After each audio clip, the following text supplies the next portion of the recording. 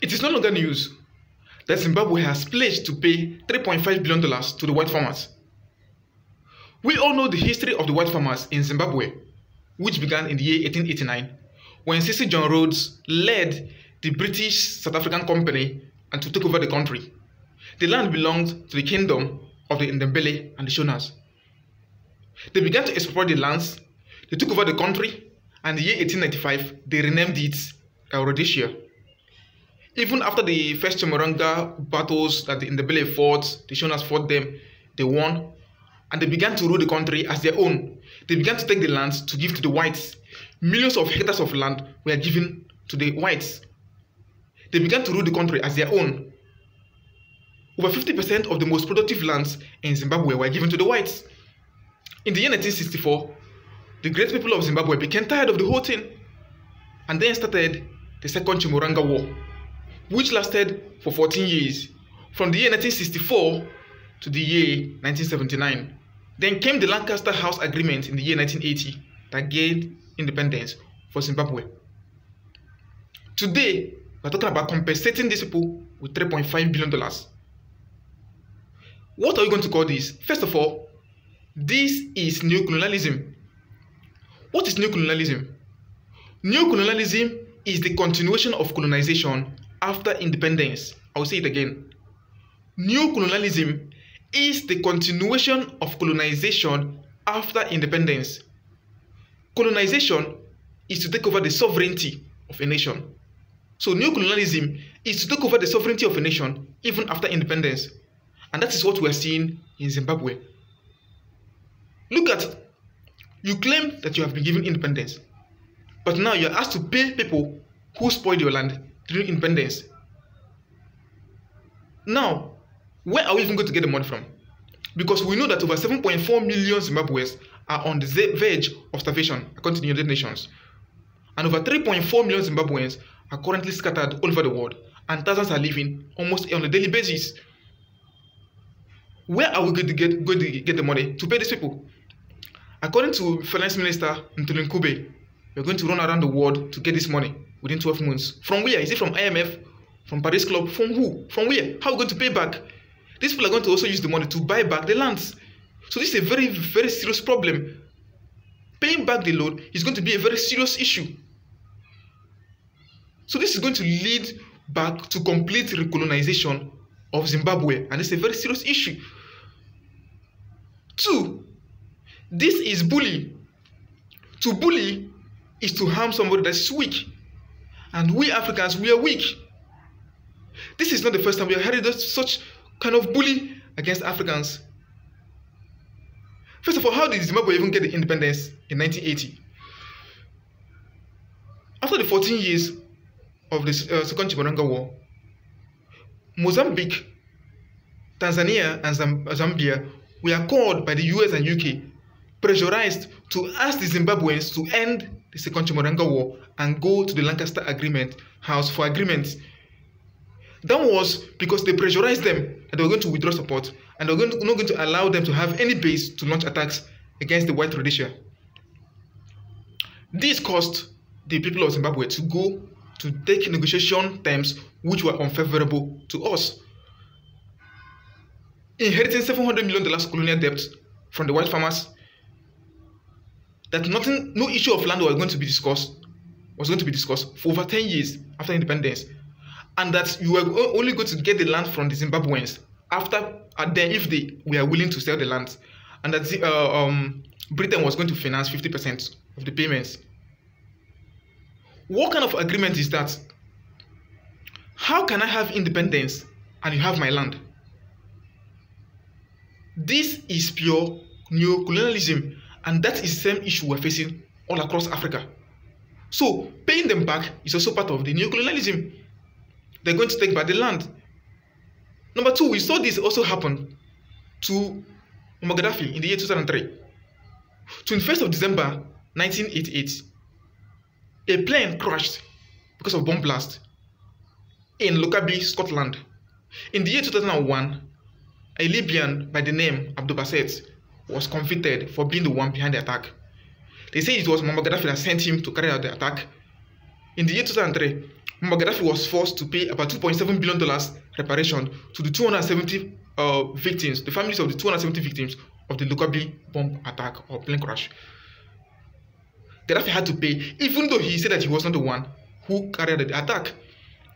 It was a, a condition for them to lift the sanctions on Libya, the United Nations sanctions and the US sanctions, and to remove Libya from the list of state sponsors of terrorism.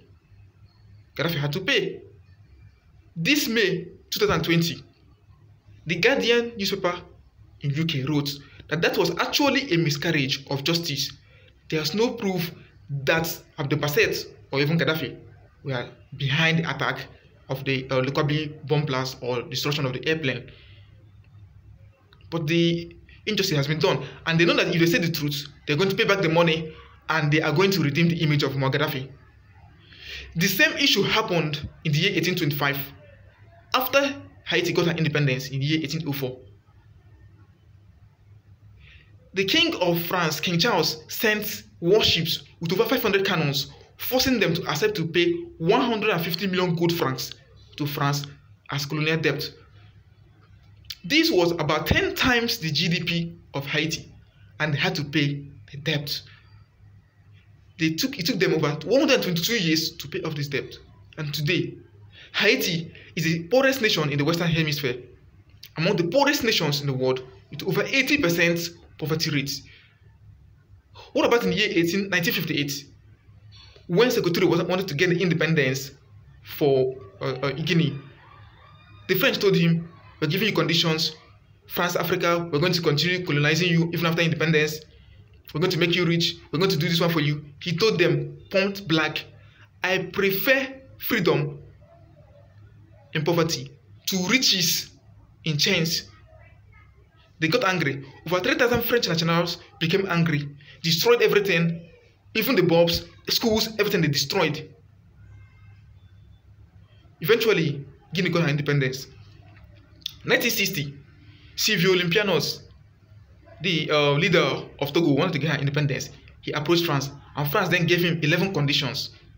He had to accept the conditions to, uh, uh, to get the so-called independence. Until today, 14 African nations are binded by that those conditions. Paying colonial tax, speaking French, having French troops in your, in your country. So this is the kind of conditions that we Africans have been having. We have been facing all manner of bullying from the new colonial masters. This also, paying $3.5 billion is injustice. It is unjust. There is no justice in this. How can those whose lands were taken over pay reparations to those who took over their lands. How can you pay somebody that came to rob you? It is the person that robbed you that is on you. This is injustice. Fourth, this also is a message to Africans that we are weak. It's a message also to South Africa that even to expropriate lands in South Africa is not going to work as easy as we think. Because even uh, uh, uh, Mandela, when he came out from prison, 11th of February of 1990, thought he was going to take back the land from the white people, but he knew that you cannot start what you cannot finish. That you cannot start what you cannot finish. That you do not bite what you cannot chew. If he had took, uh, taken the land from the whites, the same thing happening in Zimbabwe would have been happening right now in South Africa. This is because we are weak. So what are we going to do about this? Now, the solution is that this is a call to unity. This is a call to African unity. Africa must unite because the strength of Africa is directly proportional to the unity of Africa.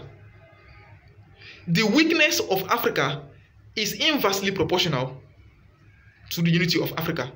So the more unity we have, the more strength we have. The more disunited we are, the less stronger we are. So we must unite. We must unite continentally and we must unite globally we must unite continentally to form the United Continent or the United States of Africa, one nation. And with the power we gain as one nation, together with allies of Africa in Asia, in Latin America, which shall form with Russia and so on, we shall then have the power to resist new colonialism in Africa. Now, urgently, we need to do something about this. which is why we need global unity. We need to unite globally, just like the Black Lives Matter movement going on across the world. We now need to unite to do something about what is going on in Zimbabwe. We must unite and begin to petition the world that we do not need the sanctions in Zimbabwe because since the year 2002, Zimbabwe has been under sanctions from the US and the EU. Because in the year 2000, the people of Zimbabwe began to expropriate the lands from the whites forcefully. In the year 2002, sanctions were placed on them by the European Union and by the United States of America, and since then, the sanctions have remained. By the year 2008, because of the sanctions, inflation rates in Zimbabwe got to over 231 billion percent, causing mass famine in the country. Many Zimbabweans had to disperse out of the country. Many fled to South, uh, South Africa, fled to all parts of the world, some fled to UK and so on. So we need to stop these sanctions. We can't have one African nation being sanctioned and the rest of Africa are behaving as though nothing is happening. If we allow Zimbabwe to fall further, we should also get ready to fall.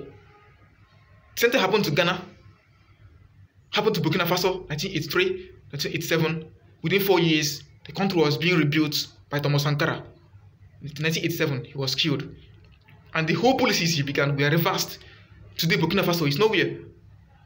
Look at Libya. Libya used to be the richest country in Africa by per capita income. Today, where's Libya? So we must come together and build a hedge front Africa. We must come together to stop the evil against us. And we can achieve that through unity. Through the continental unity of Africa and through intercontinental unity. Unity between Africa and her allies. But right now, we have started uh, something about this. And we need the cooperation of all Africans all over the world. We have started a petition to the World Bank, to the US, to the UN, and to all relevant authorities, telling them to lift the sanctions on Zimbabwe. And we need the African Union, we need all organizations to come together and back up this petition to send the message that we do not need these sanctions to continue. If not, we have to do something. We have to pressurize them until the sanctions in Zimbabwe are lifted and until the $3.5 billion colonial debt, which is what it is, is also taken away. This is what we must do. Then, secondly, we must begin to press for reparations. We suffered 400 years of slave trade for the white people, 100 years of colonization, 100 years of racism among African Americans, and right now we're still under oppression. So we are the ones that should be paid reparations, and we are not doing anything about it. Look at how 4,500 farmers, white farmers, took over millions of lands in Zimbabwe. Now they are insisting that they must pay reparations. What happened to them? They lost what they stole. But we, we suffered injustice. Why are we wasting time to ask for reparations? We must go for our reparations. We must ask them to pay us hundreds of trillions of dollars for the harms that they did for us to us. For over 200 million Africans who died in slavery and new colonization and new colonialism and slavery and uh, uh, uh, racism. So we must go for the reparations. So this is time for us to take actions. So the petitions, the petition has been released. So let us sign the petition, sponsor it if you have the money to sponsor it. If you can, share the petition to groups, share the petitions all over the social media on Twitter, on WhatsApp, on Facebook. Send messages to people to sign the petition. Let us get millions of people to sign the petition. Then we're going to take the petition to the relevant authorities, telling them that we, the African people, demand that the sanctions be lifted and that $3.5 billion debt be removed. This is what we must do now because the time to favor Africa, the time for Africa to rise again has come. No more colonization and no more divide and rule because we have found out that we are one people and that we can achieve the destiny that we have when we are united. So, this is a call to unity. Sign the petition, sponsor it. Let's work together as a team to get the, the, the removal of the Zimbabwe sanctions, to, to lift the sanctions, and to remove the $3.5 billion colonial debt. And also for us to begin to work together to gain our reparations for what was done to our ancestors, indirectly or even directly to us. This is Eze Chimere Nwauzo, leader of the One Africa Family Organization, author of The Wisdom and the Power of African Unity, and author of 222 Questions and Answers about African Progress. I'm counting on you to do something about this. together we shall achieve the African vision. o guru, Ubuntu.